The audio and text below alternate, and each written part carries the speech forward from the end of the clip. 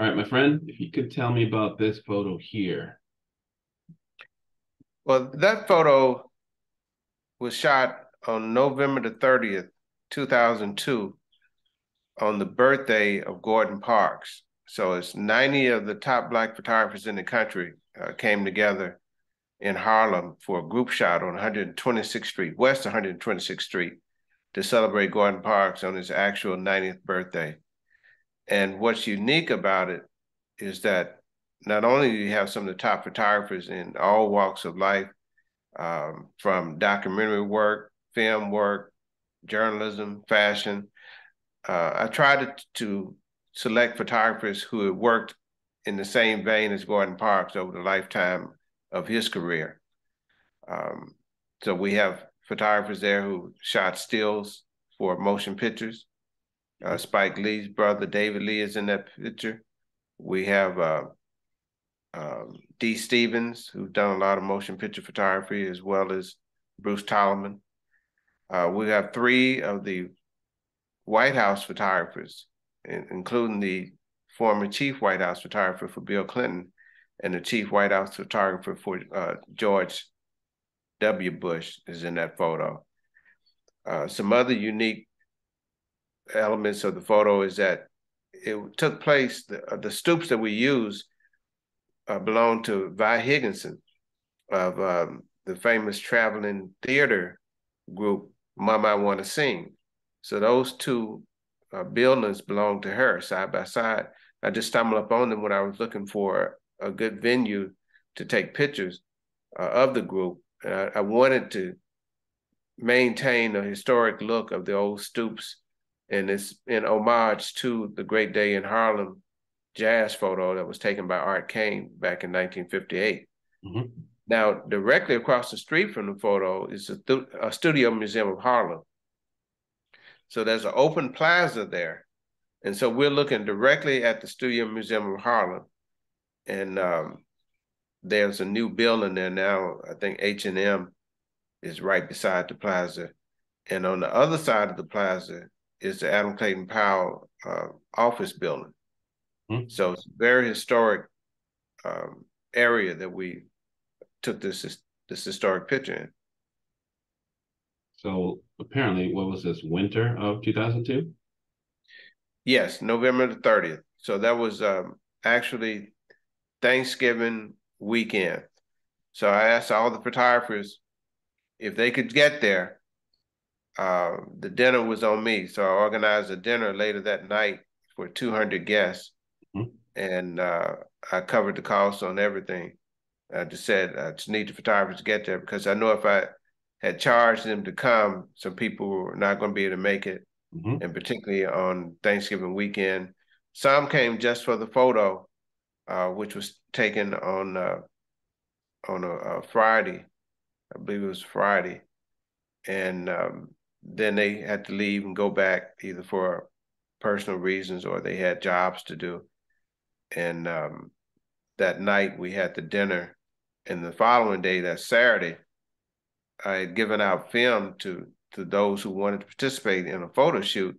Where we found out in Harlem and uh, photographed just whatever we wanted to photograph. It was intended to be a follow-up exhibition, uh, which never came to be, but but we still have the images shot by some of the uh, top photographers in the country uh, people like uh, Kwaku Alston is in that picture. He did the the Legends weekend for Oprah. Mm. Uh, Matthew Jordan Smith, another famous photographer who does a lot of celebrity work. Which one is he? Uh, Matthew, I can't see it because this this meeting sign is up.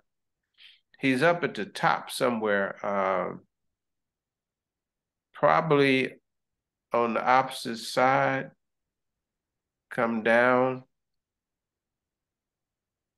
Uh, I don't see him immediately. This there, uh, right there. I think that's him. Yeah, on the right corner, uh, with the black. Yes, I think that's him.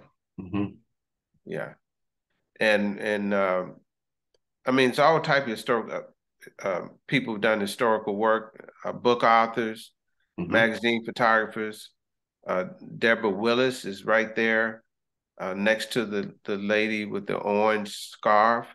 Deborah Willis, of course, um, used to work at the Schomburg and and also worked for the Smithsonian. And of course, now she's the the dean at NYU in the Tisch, um, I guess, media school.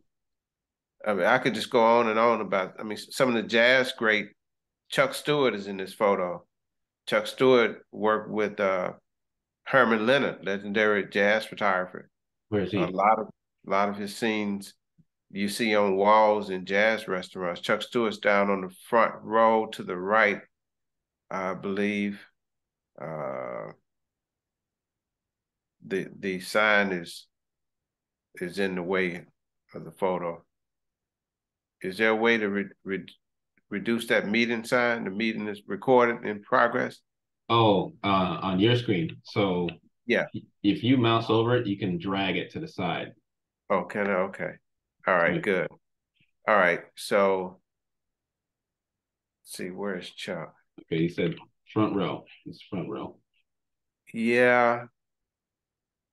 Uh, Chuck Stewart. I think this is Chuck here. Can you see my arrow? No, not at all. No? Nope. I'm just Okay. controlling. Okay. Mhm. So you see the guy in the trench coat, the yellow, uh, sort of tan trench coat? With a cap. Yeah. hmm To the to the right of him, on the other side. Oh, okay. I'm sorry, to to our right. Mhm. I think that's Chuck Stewart there. Glasses. Yes. Awesome. And there you That's are. uh, yeah, that's Jeffrey Allen Salter uh with the braids and the gray. Here. No, no, uh over to the left. Yes, right there with the gray. That's Mhm. Jeffrey Allen Salter. Above him is uh Anthony Barboza, a well-known fashion photographer. Uh to the right is John Pinderhughes. Uh to the right of, of John is Coreen Simpson. Mhm. And right behind Coreen is Deborah Willis. Mhm. And that's Linda Day to the right with the red with the red uh scarf on, orange scarf. Mhm.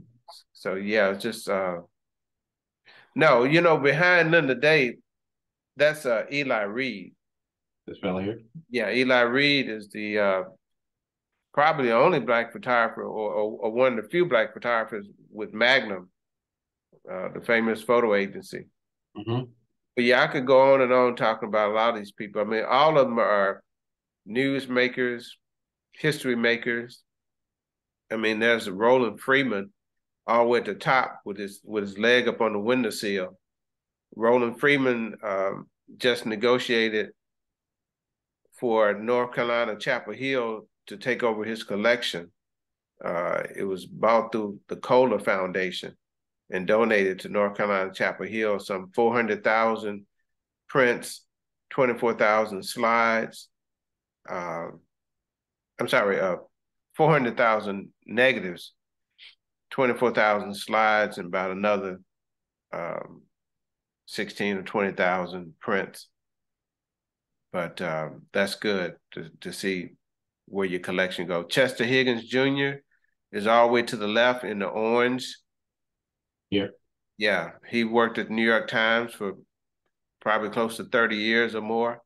Mm. And right next to him is Bruce Talamon, who did a, a book on uh, 70s soul singers and musicians, um, legendary photographer.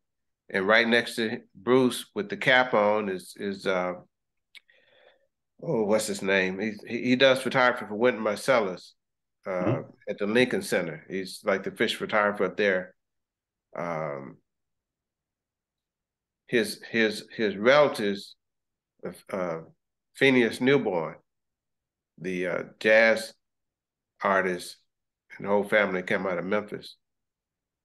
Yeah, but a lot of history there. A lot of, lot of history. And that's awesome.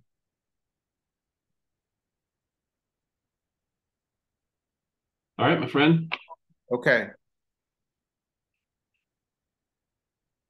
think that uh does it for us for today.